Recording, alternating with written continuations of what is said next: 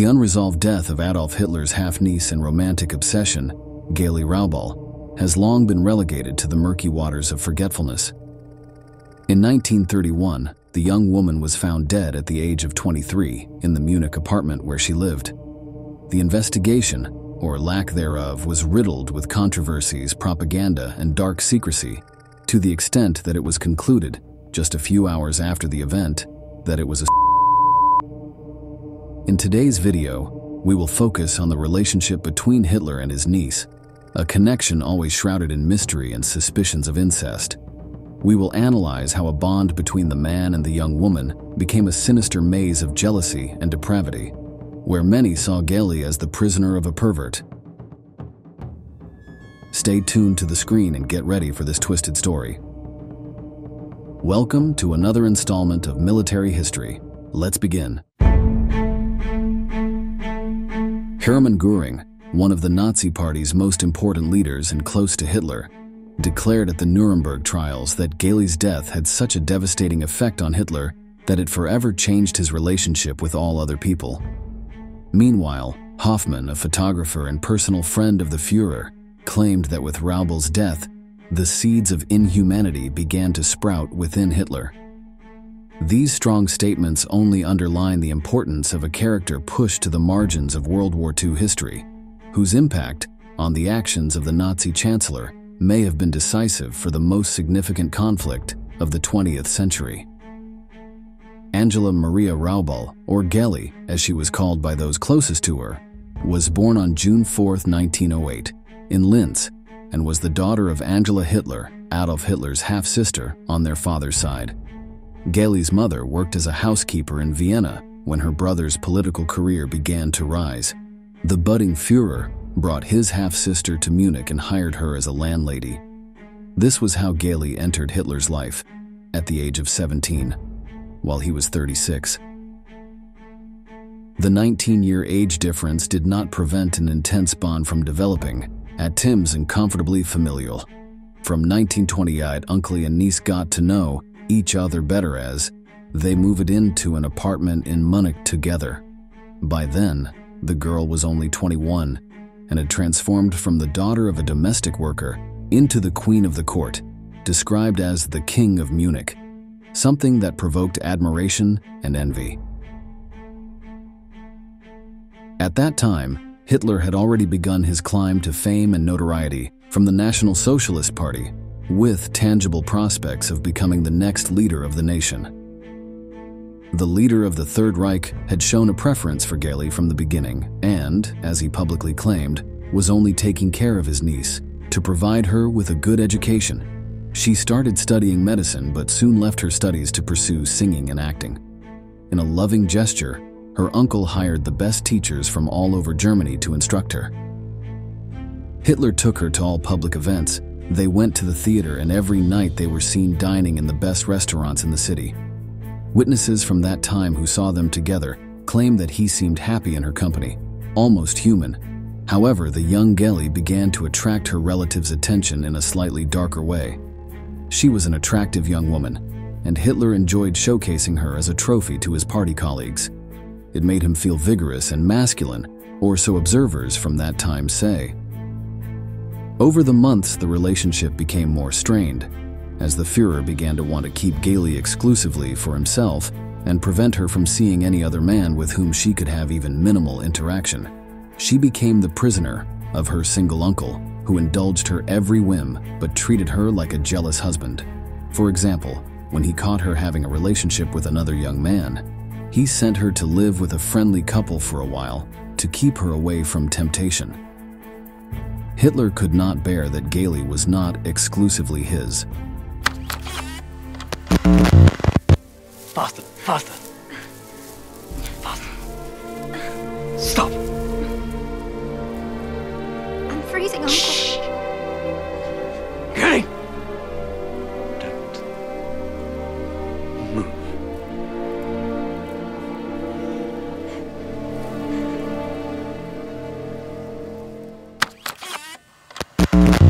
It's true I love Geli, and maybe I can marry her. But as you well know, I am willing to remain single. Therefore, I reserve the right to monitor her male relationships until I find the man who truly suits her. What she considers slavery is nothing but prudence. I must take care of her so that she does not fall into the hands of any scoundrel. These are Hitler's exact words, shared in confidence with Heinrich Hoffmann, his friend and personal photographer. What was clear was that any man who had contact with Geli was considered a scoundrel by Uncle Alf, as Raubal called the German chancellor. In a fit of rage, the Nazi leader fired his chauffeur, Emil Maurice, with whom Geli had an affair at the age of 20, even threatening him with death with a firearm. Growing increasingly possessive, he began to prevent her from leaving the house without his surveillance or that of a party member.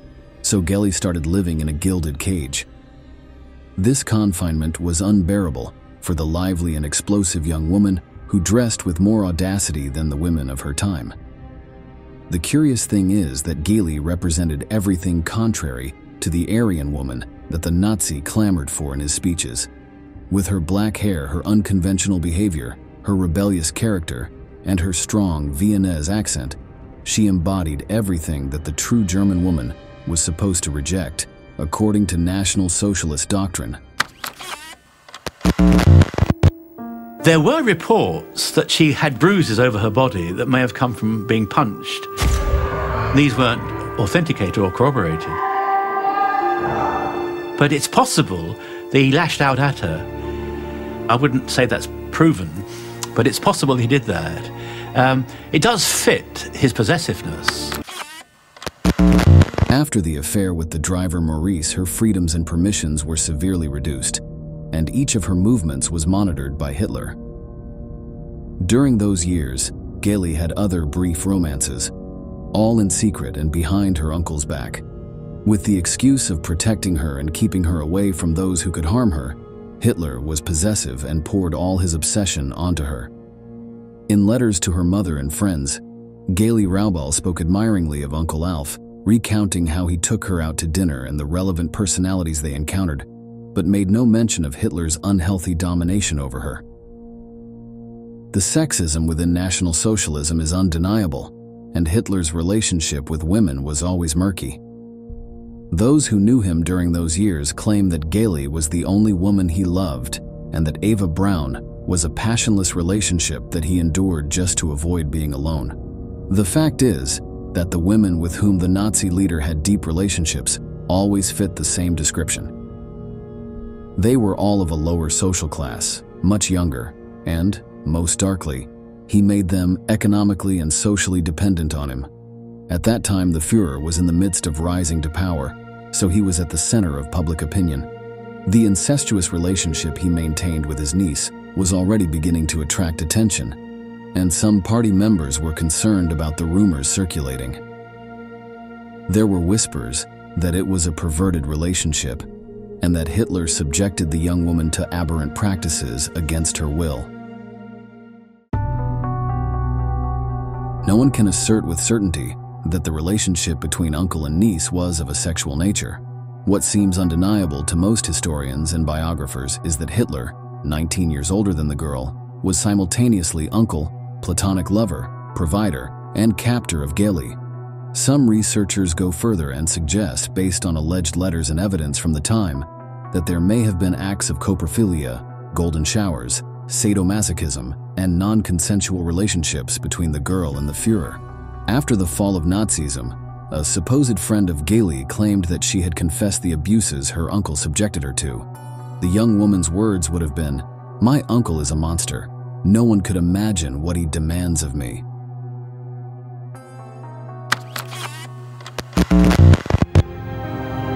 She was supposed to have told Emil Maurice that Hitler made her pose for pornographic pictures naked, uh, standing over him, and even uh, defecating on him. That Hitler uh, was a coprophiliac. These rumors were seized upon naturally by Hitler's political opponents, especially by the Social Democrats, and they were published in various Social Democratic magazines. Never proved. I must emphasize that.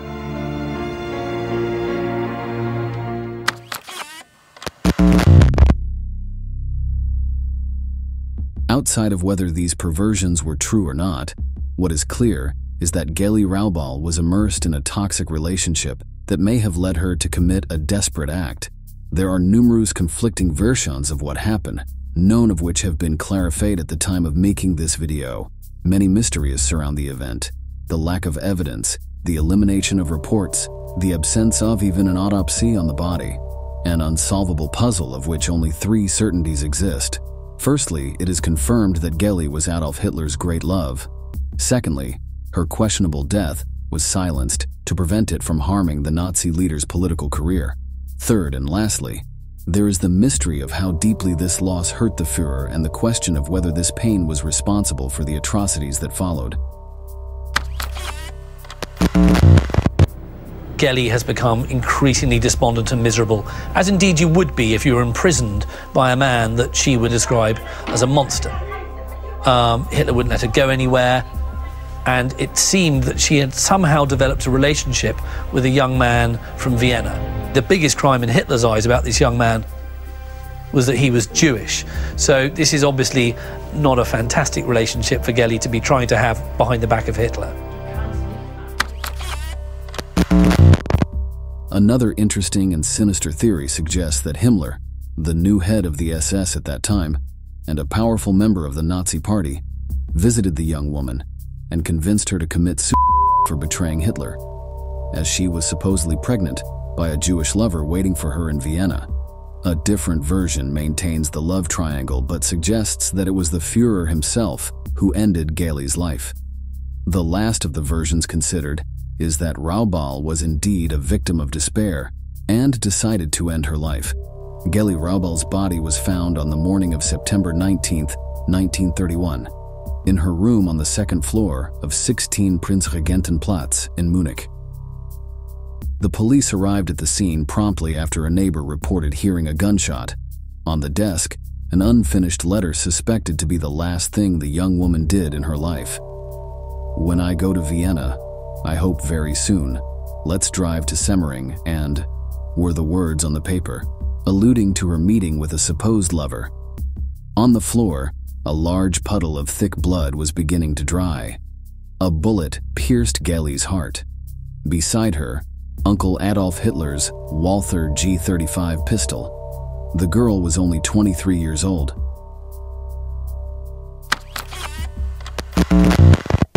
We saw a coffin being carried out of, of the entrance, and, and there were rumors that uh, I think a niece of Hitler's was living there and that she died, and speculation of how she died and why she died. And, and I think there was, there was truth in it. The, coffin was carried out, it was a woman, but um, of course, no confirmation ever. The girl's death was quickly classified as and the police were prohibited from investigating further. A subsequent complaint forced the case to be reopened months later, but a judge took over and closed it again in just a few hours. It was no coincidence that this magistrate, Franz Gürtner, became the first justice minister of the Third Reich in a short time. No one seemed surprised that Geli Raubal had given no indication of this tragic event, nor that she had left an unfinished letter addressed to a man talking about their future together. Nor did the perverse characteristics of the relationship or the sinister recurring behaviors of her uncle toward her weigh in. According to police investigations at the time, just 15 minutes after the Nazi leader left the house after a heated and violent argument with Geli, the girl made the fatal shot. Hitler was completely devastated after the incident, falling into a deep, almost catatonic depression. They had to watch him for several days because he hinted that he would take his own life. The room where it happened was preserved as a sanctuary for the Fuhrer, who filled it with flowers daily. From that day on, portraits of Geli were never absent wherever Hitler lived or worked.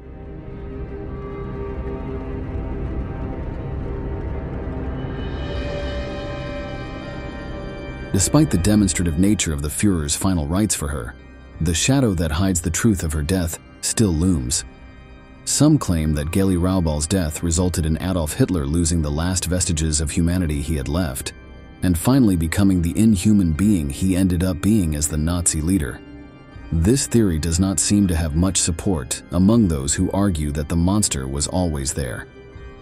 We are nearing the end of this installment, and we wanted to ask you do you believe that Geli Raubal indeed took her own life, or was she murdered by her uncle?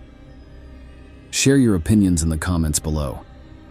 Thank you for watching today's video, and we look forward to seeing you in the next installments of Military History.